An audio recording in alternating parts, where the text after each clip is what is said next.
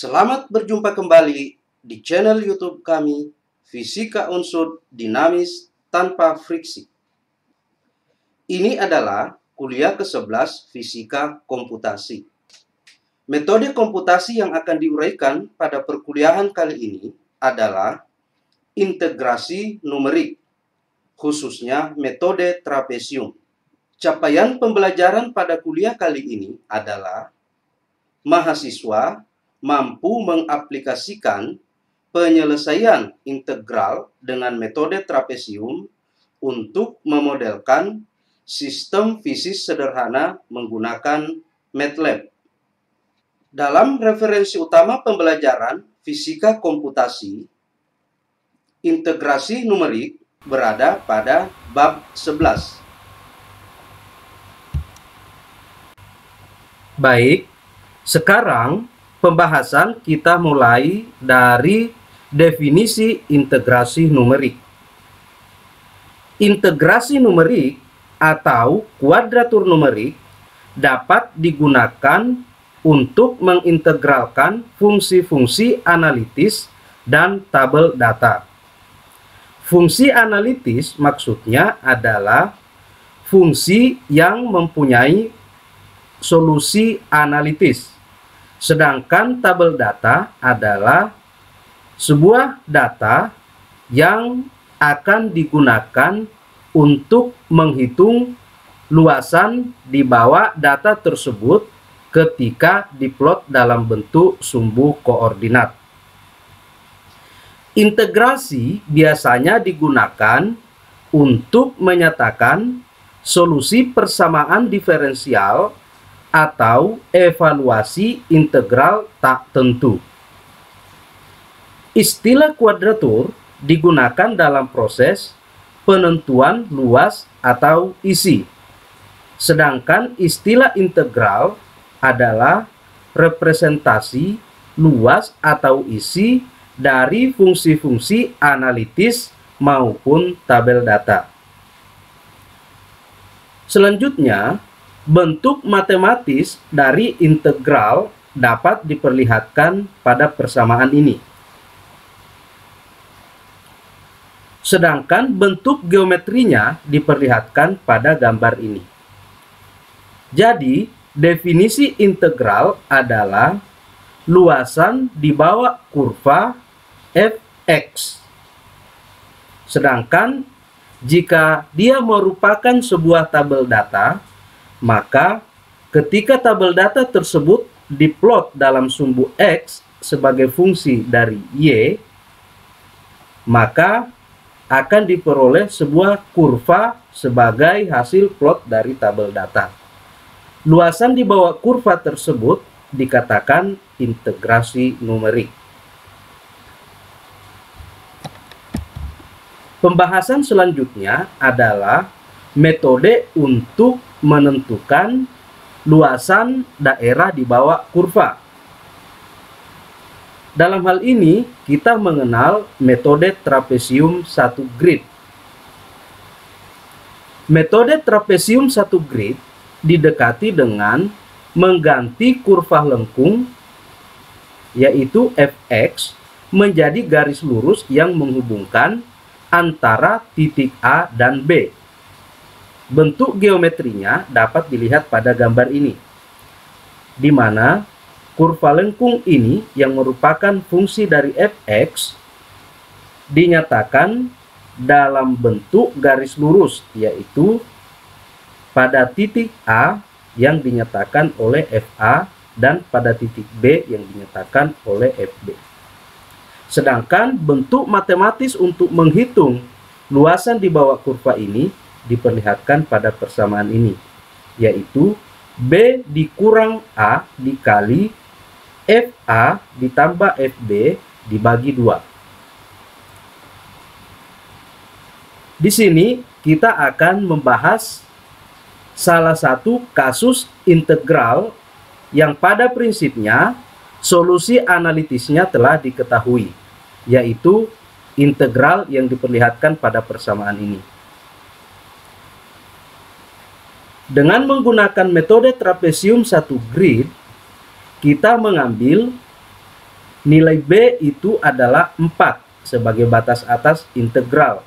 Sedangkan nilai A adalah 0 sebagai batas bawah integral. Kemudian E adalah fungsi yang akan ditentukan solusinya. Jadi kita menggunakan FA yaitu E X kemudian kita gunakan 4 sebagai pengganti X. Kemudian ditambah dengan E berpangkat 0 sebagai pengganti dari E berpangkat X. Kemudian dibagi dua. Hasilnya adalah 111,1963 jika dibandingkan dengan solusi analitisnya yaitu 53,59 sekian-sekian, maka kesalahannya dapat kita hitung dengan formula berikut. Nilai sebenarnya dikurang nilai yang dihitung berdasarkan metode trapesium satu grid per nilai sebenarnya dalam bentuk nilai mutlak dikalikan 100%. Hasilnya adalah 100,46 persen. Dari contoh yang telah dijelaskan, dengan menggunakan metode trapesium satu grid, memperlihatkan bahwa kesalahan melewati batas normal, yaitu lebih dari 100%. Untuk itu, metode ini akan kita kembangkan menjadi metode trapesium multi-grid atau N-grid. Mari kita simak penjelasan tentang metode trapesium N-grid atau multi-grid berikut ini. Metode trapesium N-grid merupakan pengembangan metode trapesium satu grid dengan membuat banyak grid. Jangkauan masing-masing grid dianggap sama besar, sehingga luas satu grid adalah delta X B kurang A per N, di mana pada gambar ini X0 adalah A, kemudian Xn yang tidak lain adalah B, merupakan bagian akhir dari grid. Jadi, B dikurang A per N, di mana N adalah jumlah grid. Batas setiap grid diberi notasi dimulai dari X0 sama dengan A, dilanjutkan dengan X1, X2, X3, sampai Xn. Selanjutnya, bentuk matematisnya dibagi dalam beberapa grid. Pada grid pertama, batas integrasinya adalah X0 sampai X1 dan merupakan fungsi dari fx. Demikian juga untuk grid yang kedua dibatasi dari X1 sampai X2. Integral ini dijumlahkan secara linear sampai xn kurang 1 sampai xn dengan fungsi yang sama. Demikianlah penjelasan tentang trapesium N-grid dalam bentuk dasar. Selanjutnya, metode trapesium N-grid dinyatakan dalam bentuk penjumlahan biasa, yaitu pasangan integral yang pertama dinyatakan dalam bentuk fx1 ditambah fx0 per 2 dikali dengan delta x di mana delta x adalah lebar grid. Demikian juga untuk grid berikutnya. Kemudian keseluruhan persamaan ini dinyatakan dalam bentuk IN di mana IN adalah luas daerah di bawah kurva untuk semua kurva.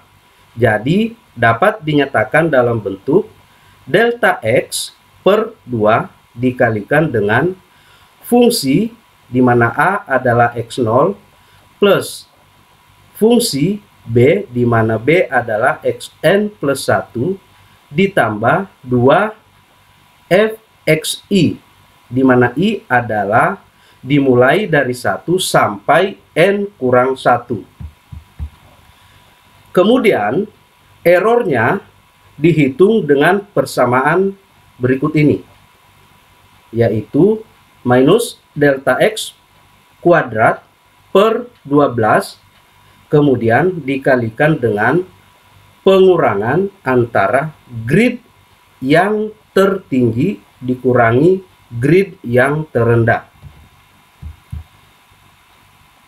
Dengan menggunakan prinsip ini, maka diperoleh formula umum metode trapesium n grid dalam bentuk persamaan berikut, yaitu IN delta X kuadrat per 2 dikalikan dengan fungsi awalnya dikurang dengan faktor koreksinya. Jadi ini adalah formula umum metode trapesium and grid. Di sini delta X masih sama seperti konsep sebelumnya yaitu B dikurang A per N. Selanjutnya, mari kita perhatikan contoh soal yang sebelumnya dikerjakan dengan menggunakan metode trapesium satu grid yang kesalahannya melewati batas normal yaitu lebih dari 100%. Soal ini akan kita kerjakan dengan menggunakan metode trapesium N grid. Solusi analitis sebagaimana yang telah kita ketahui sebelumnya sebesar 53,598150. Selanjutnya, mari kita perhatikan metode penyelesaian integral ini dengan menggunakan metode trapesium and grid. Pertama, kita menuliskan formula umum metode trapesium and grid yang terdiri atas perhitungan semua grid dikurangi faktor koreksi. Di sini X kita anggap sama dengan 1. Kemudian FA adalah E berpangkat 0 dan FB adalah E berpangkat 4 ditambah 2 dikali E berpangkat 1 sampai 3 karena sigma ini menunjukkan sampai X kurang 1 X sama dengan 4 dikurang 1 jadi maksimal E berpangkat 3 kemudian dikurangi dengan faktor koreksi yaitu seper 12 kemudian Fxn yaitu E berpangkat 4 dikurangi F xn kurang 1 yaitu E berpangkat 3 per delta X sama dengan 1. Kemudian dikurangi dengan grid terbawah yaitu F X1 yang diwakilkan oleh E berpangkat 1 dikurang F X0 yaitu E berpangkat 0 per 1. Hasil keseluruhan operasi matematika ini adalah 55,2590. Jika diperhatikan, hasil ini mendekati solusi analitisnya. Selanjutnya, perhatikan kesalahan yang dilakukan dalam perhitungan dengan metode trapesium and grid, yaitu 53, 59850 sebagai solusi analitis dikurang I4 yaitu 55,2590 per nilai analitisnya dikali 100% hasilnya sama dengan 3,0987%. Artinya kesalahan yang kita lakukan hanya 3%. Jadi, kesalahan ini sangat kecil jika dibandingkan dengan metode sebelumnya, yaitu sampai 107,46% melewati batas normal. Maka dapat disimpulkan bahwa metode trapesium and grid terbukti mampu meminimumkan error. Selanjutnya, mari kita lihat bagaimana metode trapesium multigrid digunakan untuk fungsi non-analitis. Contoh kasusnya adalah hitung integral data berikut ini dengan menggunakan metode trapesium multigrid. Dari tabel data ini, kita ketahui bahwa interval dari X atau delta X itu sama dengan 1. Sedangkan N-nya sama dengan 4. Selanjutnya, untuk menyelesaikan kasus ini, maka formula dasar kita tuliskan menyesuaikan dengan bentuk tabel datanya. Yaitu I4 tidak lain adalah simbol dari luasan di bawah kurva dengan metode trapesium multigrid. Kemudian sama dengan setengah atau seperdua dikali satu adalah bagian awal dari fungsi. Kemudian 33 adalah bagian akhir dari fungsi. Ditambah 2, kemudian sigma dimulai dari I sama dengan 1 sampai X sama dengan 3 yang tidak lain adalah fungsi tabel data atau fxi dikurangi faktor koreksi yang rumus dasarnya seper 12 dikali fx4 dikurang fx3 per 1 karena delta X-nya sama dengan 1. Kemudian Fx1 dikurangi Fx0 per 1. Di mana Fx4 dikurang Fx3 adalah grid tertinggi dan bagian ini Fx1 dikurang Fx0 adalah grid yang paling rendah. Kemudian di sini kita akan mencoba menghitung dengan atau tanpa faktor koreksi. Kita mulai dengan perhitungan tanpa faktor koreksi. Jadi, kita tinggal menggunakan hanya suku ini. Hasilnya adalah 48. Jika kita memperhitungkan faktor koreksi, yaitu dikurang dengan suku ini, maka hasilnya adalah 47. Selanjutnya, karena fungsi ini adalah fungsi tabel data, bukan merupakan fungsi analitis, maka kita tidak bisa melakukan koreksi terhadap hasil analisis dengan menggunakan solusi analitisnya. Jadi, kita hanya bisa mengoreksi terhadap faktor koreksinya. Dalam hal ini, perhitungan tanpa koreksi dan perhitungan dengan faktor koreksi. Di sini I4 kita nyatakan sebagai perhitungan tanpa faktor koreksi. Kemudian I4 star adalah perhitungan dengan faktor koreksi. Setelah kita melakukan perhitungan, maka diketahui error dalam perhitungan ini adalah 2%. Jadi, dengan menggunakan metode trapesium multigrid, kembali membuktikan bahwa metode ini mampu meminimumkan error. Selanjutnya, untuk memperdalam pemahaman Anda tentang metode trapesium dan aplikasinya, dalam menentukan solusi bentuk integral, mari kita simak tutorial pemrograman berikut. Tutorial pemrograman kali ini, kita akan meninjau sebuah kasus fisika. Sebuah mobil bermassa 2000 kg melaju dengan kecepatan 30 meter per sekon. Pada saat T sama dengan 0, mesin tiba-tiba mati. sehingga mengalami gesekan aerodinamis dan hambatan putar.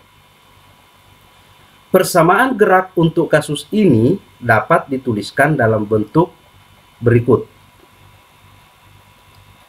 Pertanyaannya adalah, tentukan jarak yang ditempuh dihitung mulai dari T sama dengan 2 skon pada saat laju menjadi 15 meter per sekon. Untuk menyelesaikan kasus ini, kita dapat menggunakan metode trapesium multigrid dengan terlebih dahulu menyatakan persamaan diferensial dalam bentuk integral di mana fungsinya adalah seperti pada persamaan ini.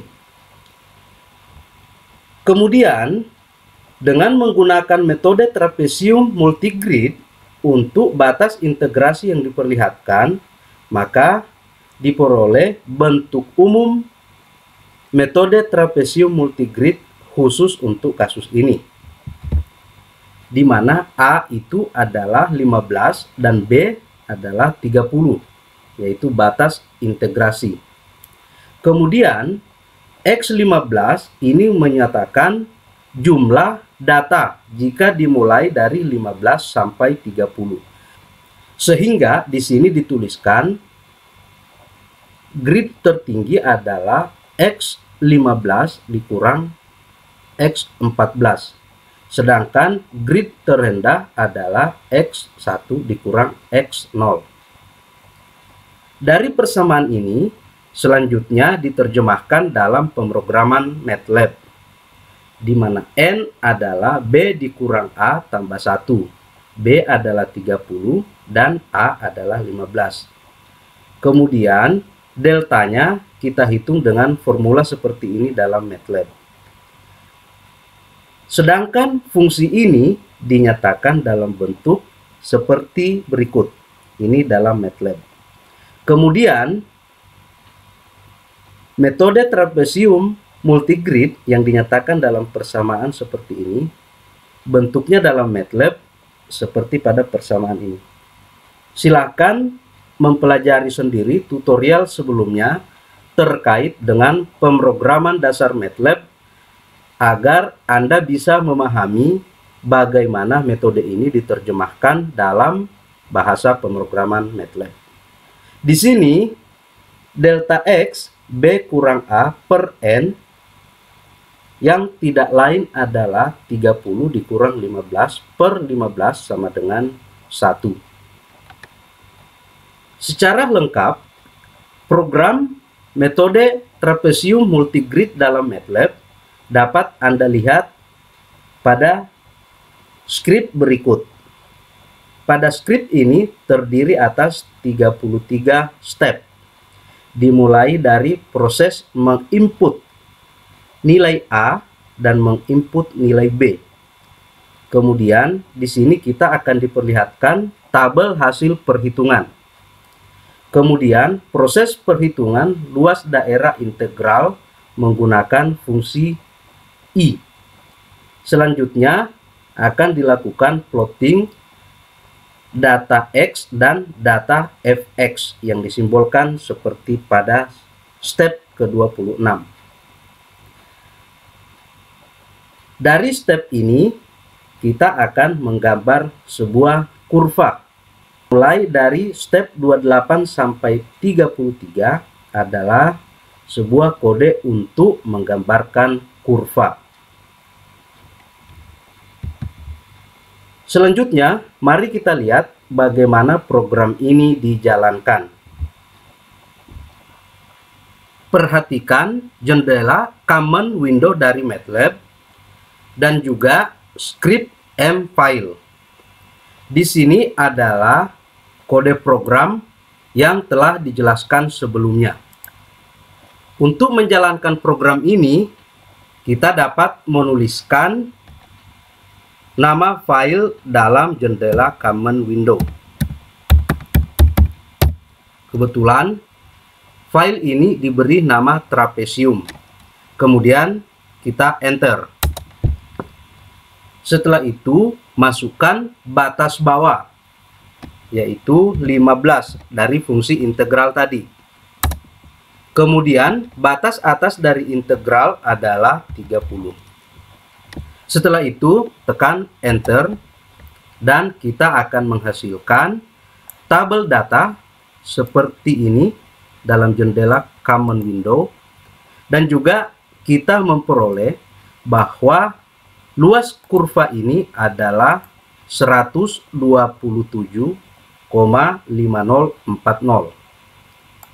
Sedangkan kurva integrasinya seperti yang kita lihat. Demikianlah penjelasan tentang pemrograman MATLAB untuk metode trapesium multigrid. Selamat mencoba, semoga Anda berhasil dan dapat mengerti lebih dalam metode ini. Untuk memperdalam pemahaman Anda terkait dengan aplikasi metode ini dalam MATLAB, silakan kerjakan latihan pemrograman berikut. Selesaikan persamaan-persamaan berikut dengan metode trapesium. Kembangkan konsep pemrograman pada tutorial yang telah dibahas pada kuliah ini untuk menyelesaikan latihan kali ini. Selamat mengerjakan. Demikian perkuliahan kita kali ini melalui channel YouTube Fisika Unsur Dinamis Tanpa Friksi. Jangan lupa like, comment, subscribe, dan turn on notification. Sampai jumpa lagi pada video berikutnya.